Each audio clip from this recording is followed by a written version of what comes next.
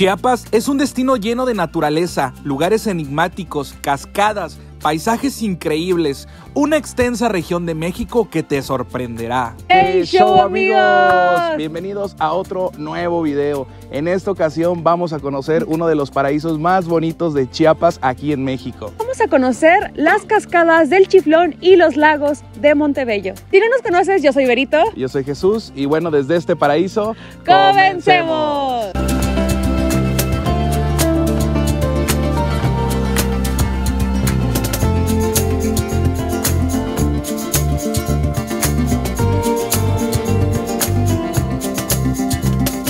Recomendación antes de iniciar cualquier tour, amigos, váyanse por su desayunito. Yo me fui por un burrito del Oxxo, un juguito y de este lado un cuernito, un cafecito. Esta cerveza no es de desayuno, es de, de anoche que se quedó por ahí. Este tour sale desde tu hotel en el centro de San Cristóbal de las Casas.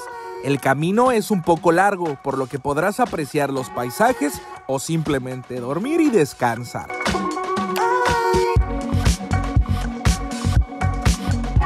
Recuerda no roncar, ¿eh?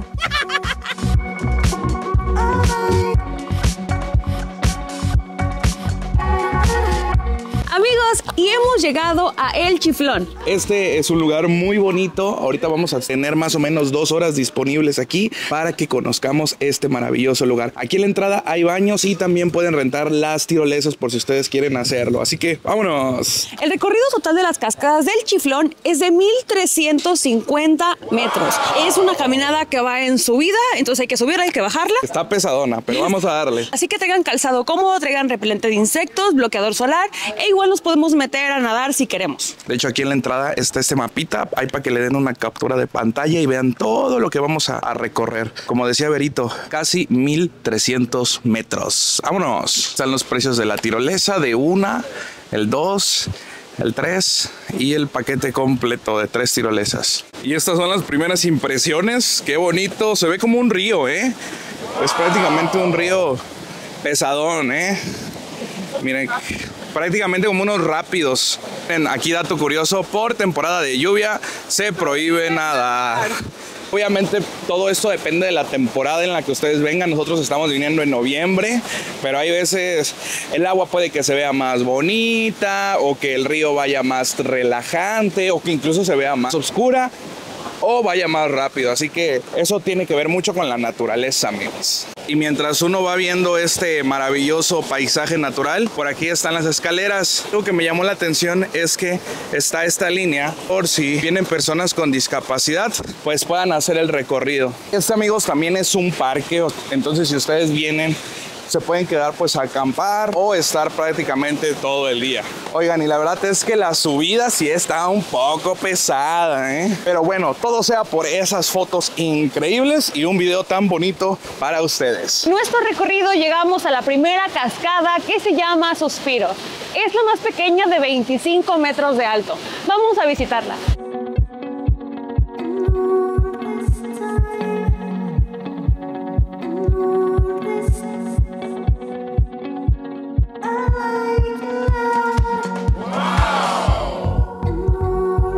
La segunda cascada es nada más y nada menos que Ala de Ángel.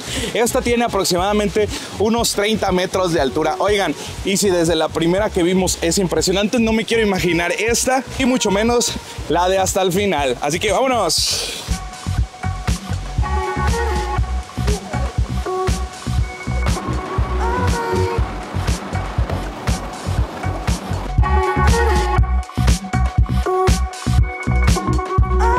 Después de tanto padecer, hemos llegado a la cascada principal, velo de novia. Vean qué bonita y qué hermosa está esta maravilla natural. Y por fin hemos llegado a uno de los miradores principales, amigos. Vean qué bonito se ve esto. Aquí se pueden tomar la foto. Todavía tienen que caminar ese pedacito y llegan hasta allá. Pero allá la verdad es que sí se siente un poquito más el agua. Oigan, y solamente nos va a hacer falta subir la cascada Arco Iris de unos 50 metros y 15 añera.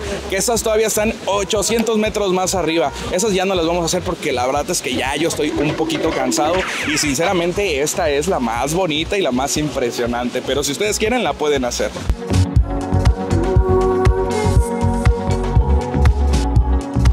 Este espectacular cascada mide 120 metros de altura y como su nombre lo dice, se asemeja al velo de una novia.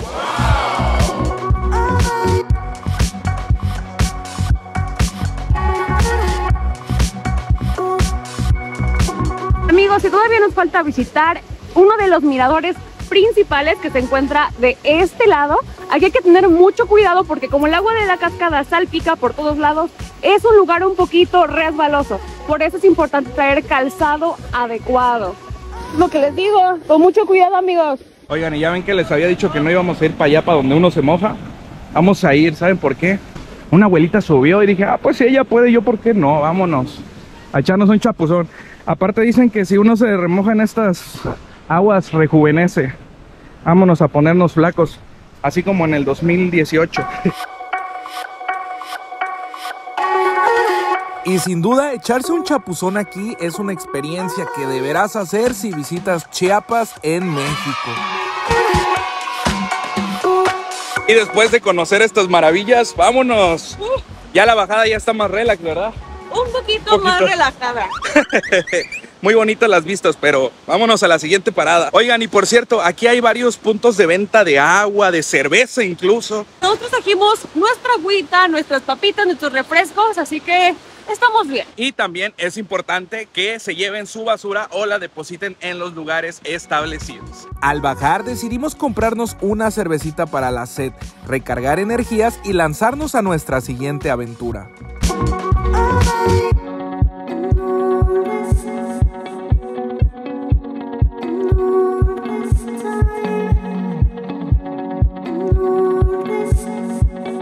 Llegando a los lagos de Montebello tenemos tiempo para comer en las fondas, que te encuentras a un costado. Los precios son relativamente económicos, solo te recomiendo comer con moderación y cuidar tu estómago.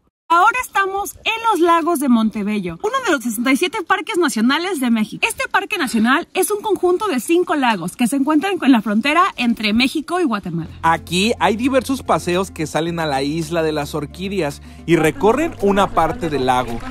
Y ahora estamos haciendo un recorrido en una balsa a la isla de las orquídeas. Y como dato curioso, este tipo de madera es la que se utiliza para eh, los corchos de vino. Que se ve que pues sí, sí funciona ¿eh? porque aquí vamos, no no nos hemos hundido y ya llevamos la mitad del viaje. Como podrán ver amigos, esta actividad es muy amigable con el medio ambiente y con la fauna de los lagos porque tiene muy bajo impacto. Es una balsa que no tiene ningún motor, que se maneja a remo, así que vamos a disfrutar.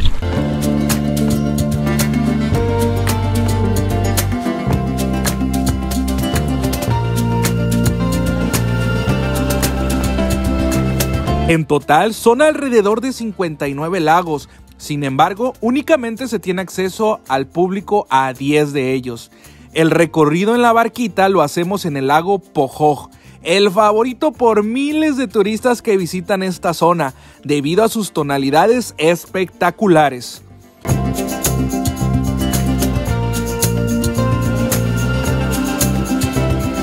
Miren, acabamos de hacer nuestra primera parada en un lugar que se llama Yasham.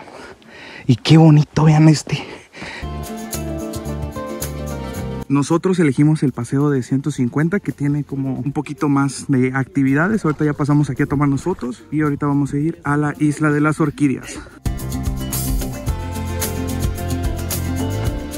Y llegamos a la isla de las orquídeas. Aquí como pueden ver, bueno, pues prácticamente se llama así porque hay orquídeas. Aquí si ustedes quieren pueden nadar, pueden echarse clavados o simplemente pueden disfrutar de estas vistas tan maravillosas.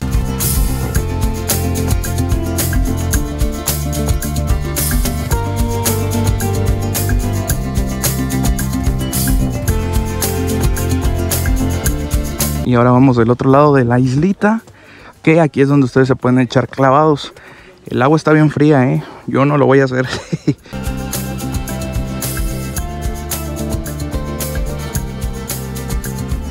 y ahora esta vez nos toca remar. a darle. a darle, a darle. Después del recorrido nos iremos al último punto del tour. En esta zona, un lago delimita la frontera, algo increíble. México, Guatemala, tierra, México, México. Loco amigos que de este lado está México y ya de este lado es Guatemala. Está muy muy loco, ¿eh? Y finalmente regresamos a San Cristóbal. Mi mayor recomendación es que si viajas a Chiapas es hospedarte aquí en San Cris, ya que de aquí salen la gran mayoría de los tours. También te recomiendo ir en tour. No es tan recomendable el auto privado en esta zona de México, ya que suelen haber bloqueos o carreteras complicadas, además de que los traslados son un poco pesados. Y bueno amigos, hasta aquí el video del día de hoy. Espero y les haya gustado mucho. Los invitamos a compartirlo, darle like y suscribirse. Y sobre todo visitar Chiapas con Plan Caribe. Yo soy Jesús. Y yo, Verito. Nos vemos para la próxima y adiós.